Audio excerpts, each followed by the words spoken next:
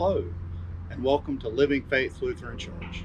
I wanted to take a moment to welcome each and every one of you and give you a little insight into who we are and what we're about before we begin worship today.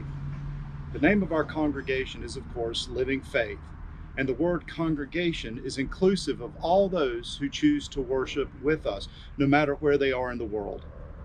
The reality is, we're no longer defined by a simple physical address.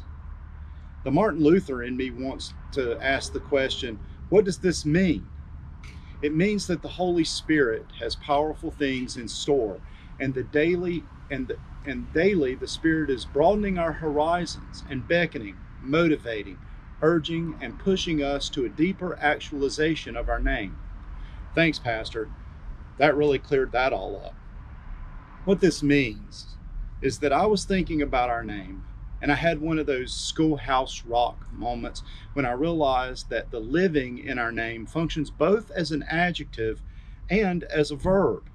As an adjective, living describes the noun faith as one with, as Luther would describe it, a profound love of God for God's people and for whole, uh, the whole creation. As a verb, what that's where things get exciting as we worship, and worship is not just this short video time in the midst of a 168 hour week, worship is about living faith. The Schoolhouse Rock song says, Verb, I get my thing from action, to work, to play, to live, to love.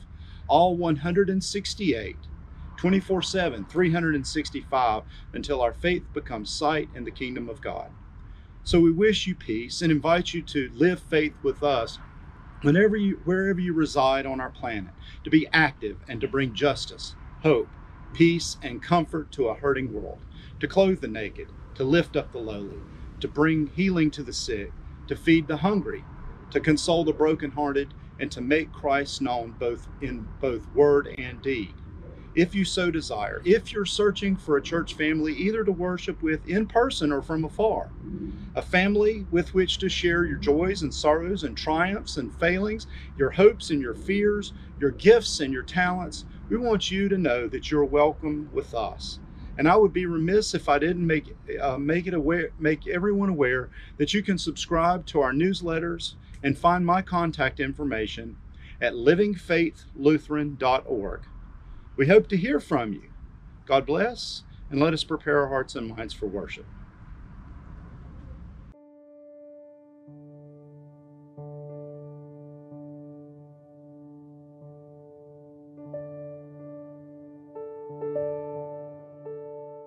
In the beginning, in our beginning, we were only dust, knowing nothing of the good and evil only the pure innocence of God.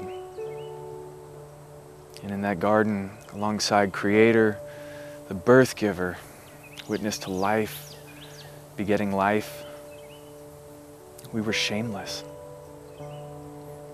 Known in our nakedness and freely creating work was being human. Standing at the edge of the garden, things were not the same. They were fragile, and we needed protection, so we hid behind uh, trees, behind each other, behind our lives.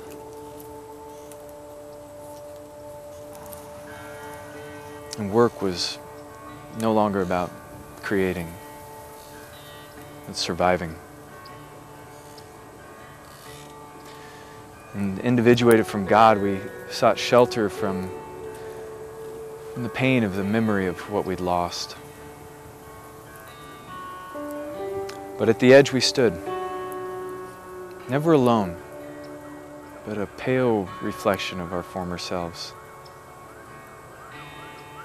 Would we remember how to be man and woman again? Would we know how to walk together with, with clear vision of each other? Not his self-made image, but, but as souls sheltered in the divine, searching for the one who created and loved. From the garden, I, I entered the wilderness of my striving, where I encountered demons, my demons, and the shifting sands and the, the dirt between my toes, as a reminder of my mortality to seek, to fill the hunger, to remember who I was. But really, always forgetting, getting caught up in, in work or in another, or distractions. There were days where my dreams became fantasy. Painting myself into a corner to surround myself with all those I loved, including a life that I left behind.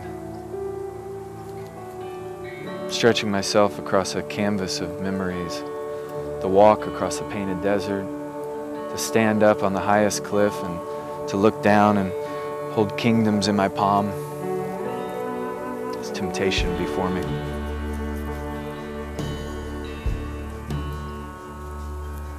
And what they were for me, they were for the Son of Man. A deep growl in a hungry soul. Jesus came to face himself and his frailty, but he feasted on food made of words baked in the mouth of God. Words of, of life and hope that promised another way back to lush lands where we could be together with the one who never left us alone.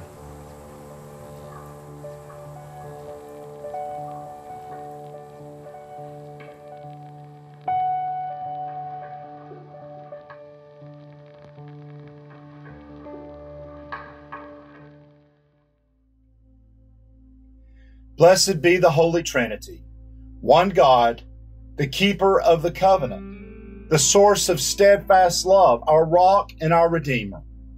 Amen. God hears us when we cry and draws up close in Jesus Christ. Let us return to the one who is full of compassion. Fountain of living water, pour out your mercy up over us. Our sin is heavy and we long to be free rebuild what we have ruined, and mend what we have torn. Wash us in your cleansing flood. Make us alive in the Spirit to follow in the way of Jesus as healers and restorers of the world you so love. Amen. Beloved, God's word never fails. The promise rests on grace. By the saving love of Jesus Christ, the wisdom and the power of God, your sins are forgiven, and God remembers them no more. Journey in the way of Jesus. Amen. The Lord be with you. Let us pray. Holy God, Heavenly Father, in the waters of the flood you saved the chosen, and in the wilderness of temptation you protected your Son from sin. Renew us in the gift of baptism. May your holy angels be with us, that the wicked that the wicked foe may have no power over us. Through Jesus Christ, our Savior and Lord, who lives and reigns with you in the Holy Spirit, one God, now and forever. Amen.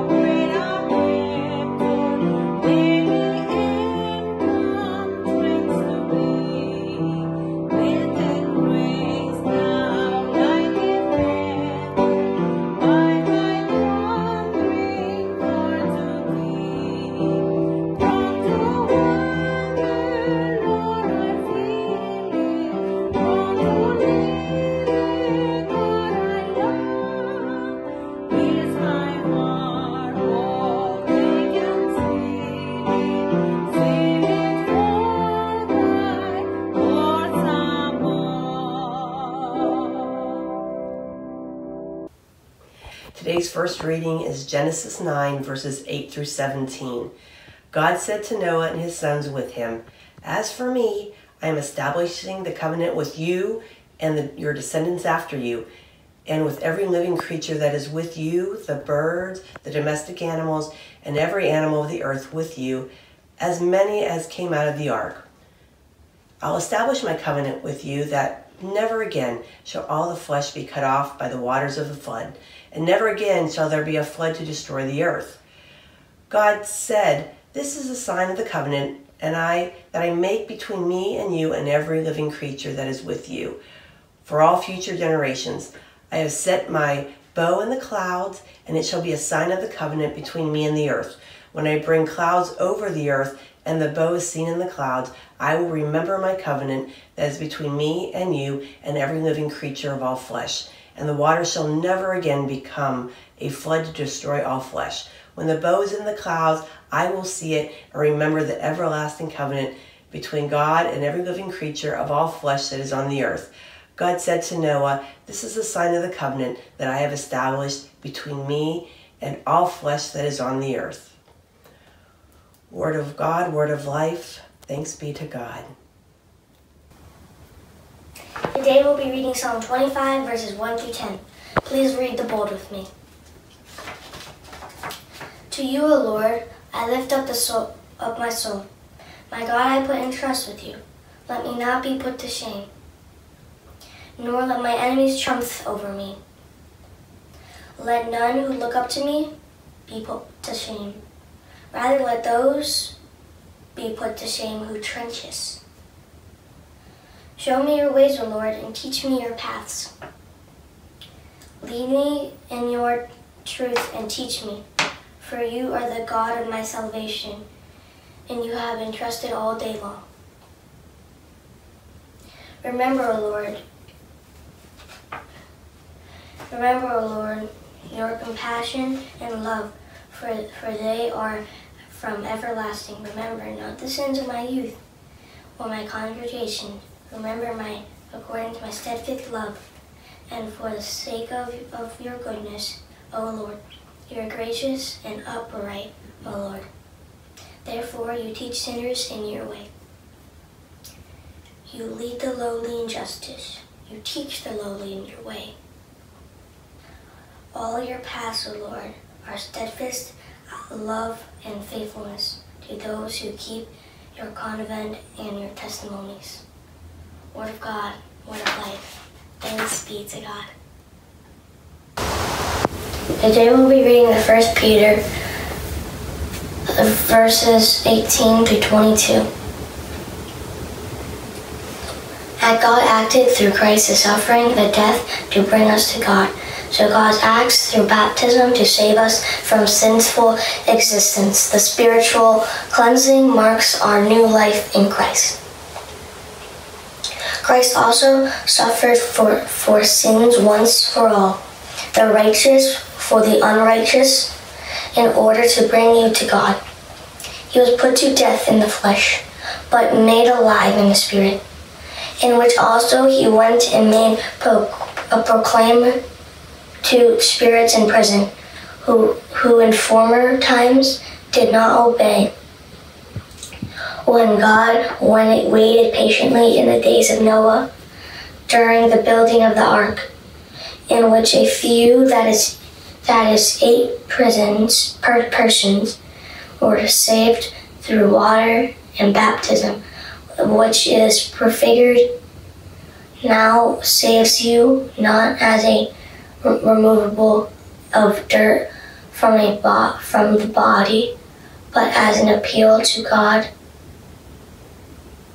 for a God for a good conscience through the resurrection of Jesus Christ who has gone into heaven and is at the right hand of God, with angels, authorities, and powers made subject to him. Word of, word of God, word of life. Thanks be to God. The Holy Gospel according to St. Mark, the first chapter. In those days, Jesus came from Nazareth of Galilee and was and was baptized by John in the Jordan. And just as he was coming up out of the water, he saw the heavens torn apart and the Spirit descending like a dove on him. And a voice came from heaven You are my Son, the beloved. With you I am well pleased. And the Spirit immediately drove him out into the wilderness. He was in the wilderness 40 days, tempted by Satan, and he was with the wild beasts, and the angels waited on him. Now, after John was arrested, Jesus came to Galilee, proclaiming the good news of God and saying, The king, the, the time is fulfilled, and the kingdom of God has come near. Repent and believe in the good news, the gospel of the Lord. Praise to you, O Christ. You know, water is serious business.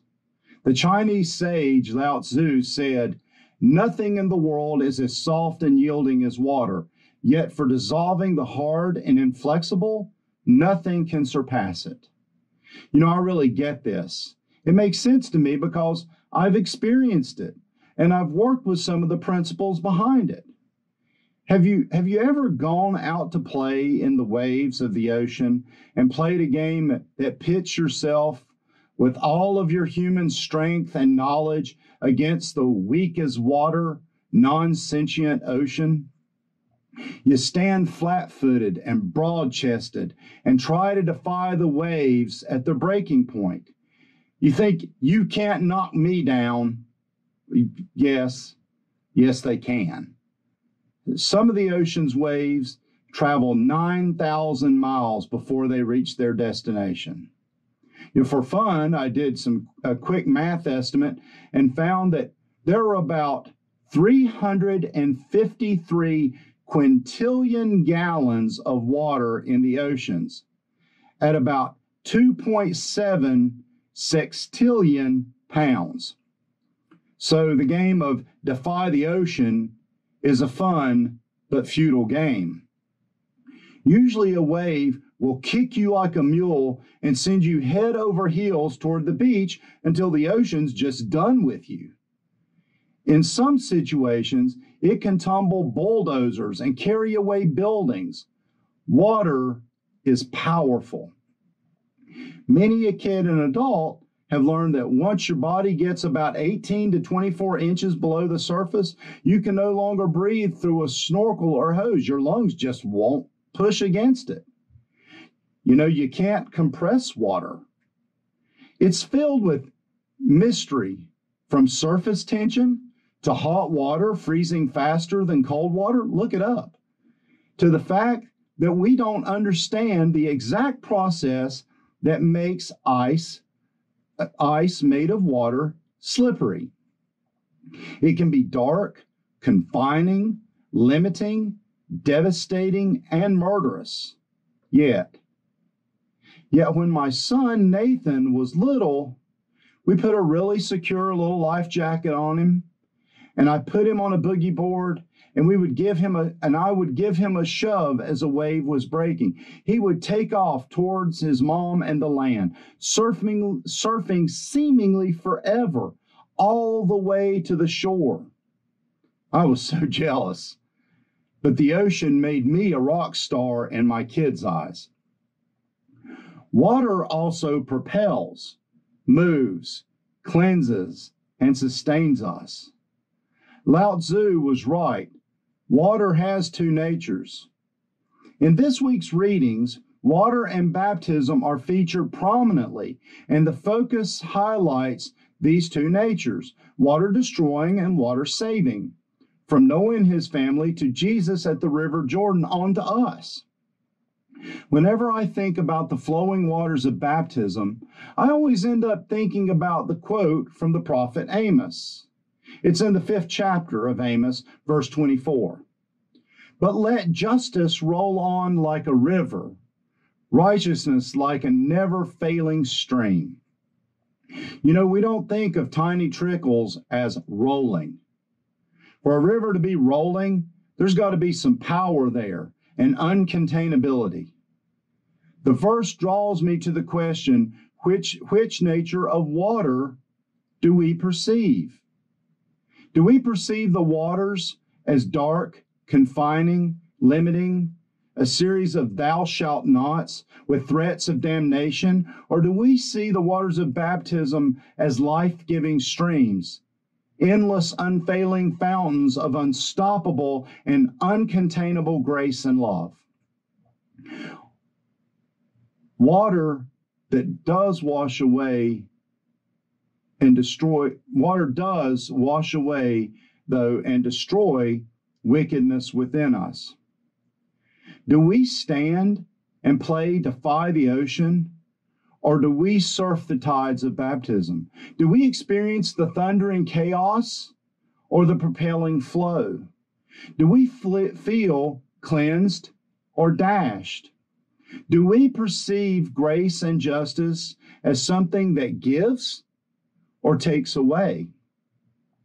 Here's the thing being baptized is not only having God's love poured onto you, but also into you, all of us. The waters of baptism also bring to uh, bring to mind the coolest moving water thing I've ever seen. The first time I ever saw this trick or phenomenon was at Epcot at Disney World.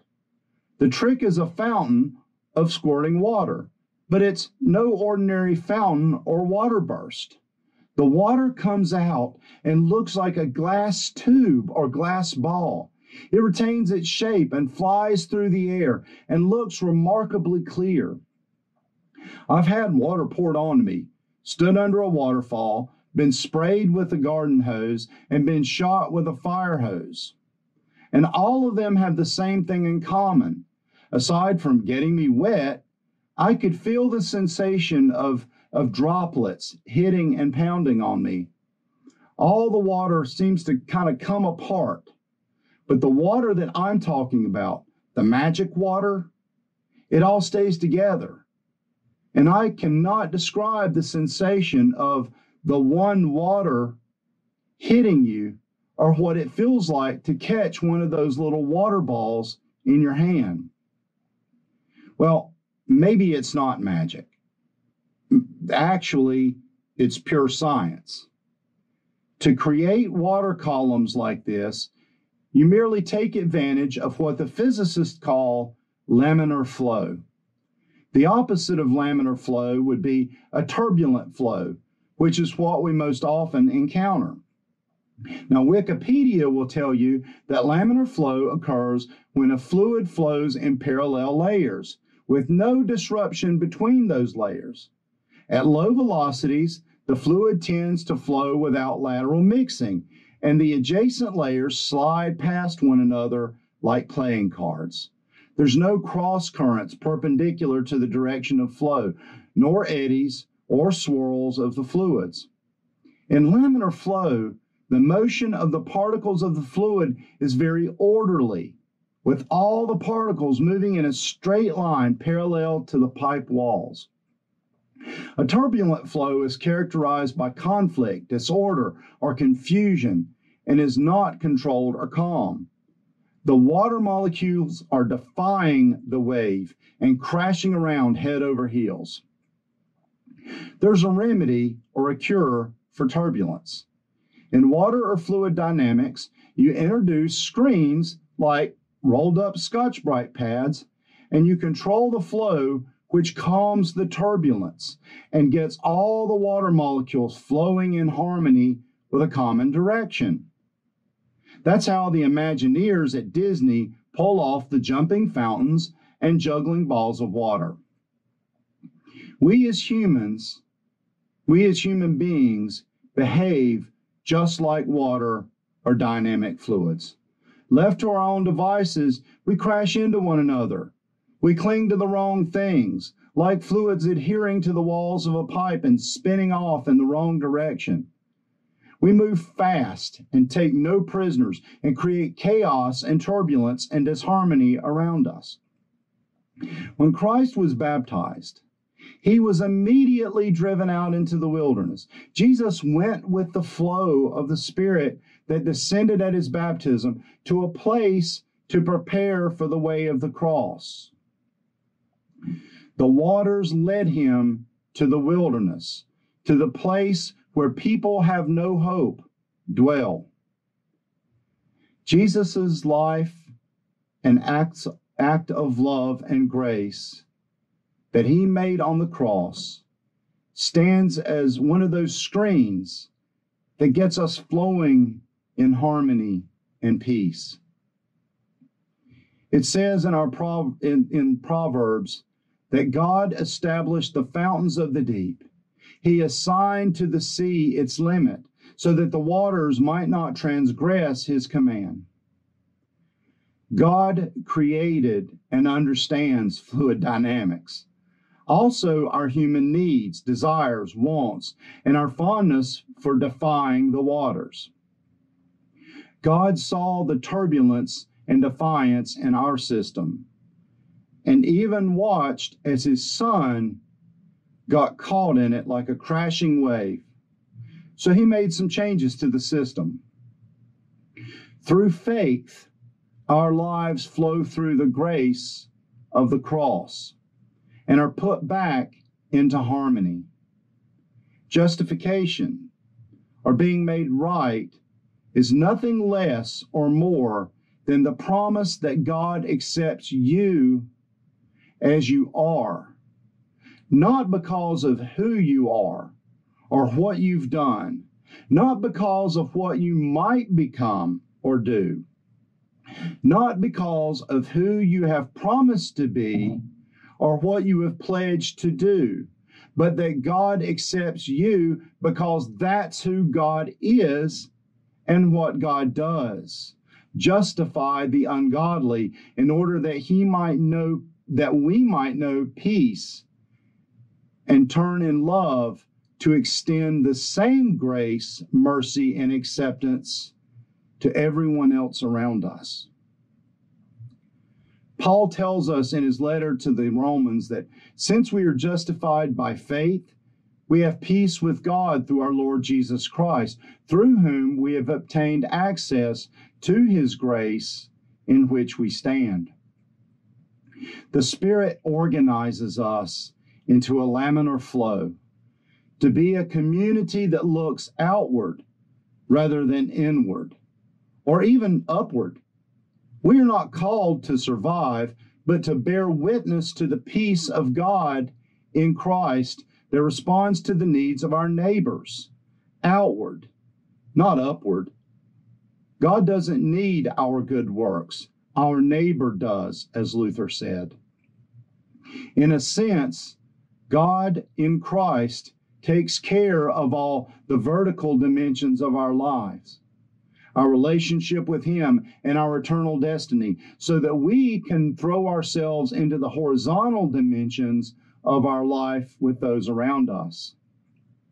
When we turn our eyes outward and extend the peace of God that allows us to transform suffering, ours and that of others, it transforms it into endurance, character, and hope. Because we have experienced God's love, the Spirit of Christ is surely present. This is living the cruciform life or the life of the cross. Receiving from God and serving as vessels or conduits to pass it on. In this life, in, uh, in this, the turbulence, the conflict, the disorder, confusion, roughness, storminess, tempestuous winds, the wild and raging violence are ordered and redirected into the fruits of the Spirit. Love, joy, peace, patience, kindness, generosity, faithfulness, gentleness, and self control.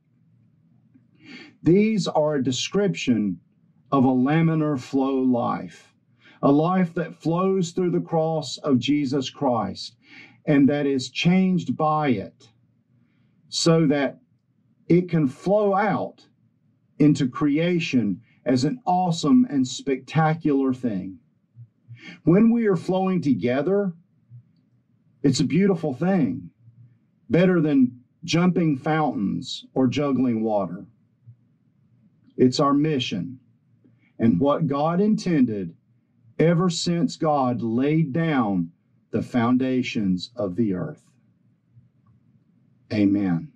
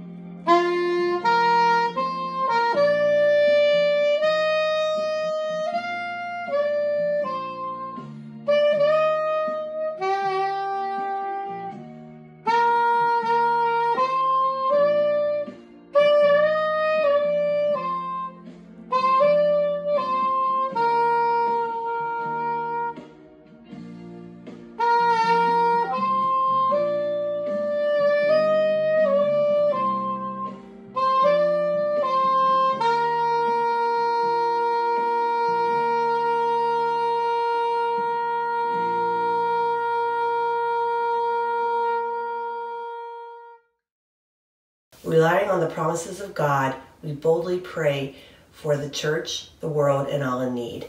In Jesus, your realm has come near to us in every place and time. Give your church throughout the world a spirit of humility and repentance. Teach us to trust always in the good news of your salvation. Hear us, O God. Your mercy is great. You have made a covenant of mercy with every living creature. Protect all the earth's creatures from destruction. Empower the work of biologists, conservationists, and science educators. Hear us, O God. Your mercy is great.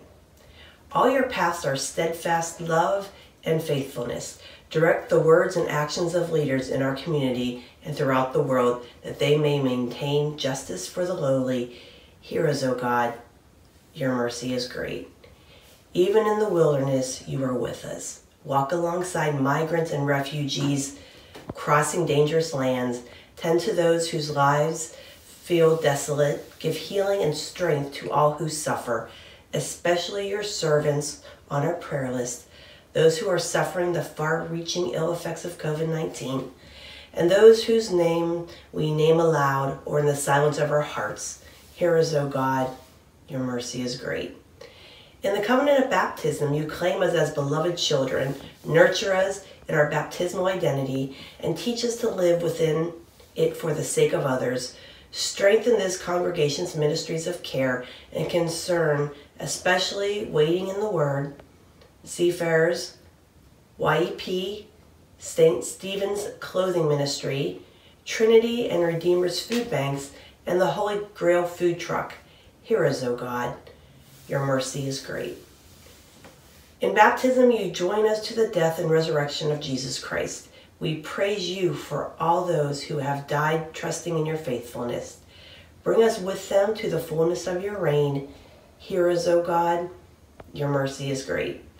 We entrust ourselves and all our prayers to you, O faithful God, through Jesus Christ our Lord. Amen. Let us now pray together the prayer our Lord taught us. Our Father, who art in heaven, hallowed be thy name.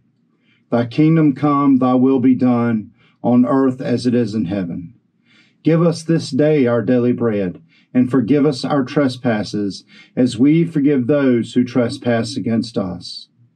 And lead us not into temptation, but deliver us from evil. For thine is the kingdom, the power and the glory, forever and ever. Amen.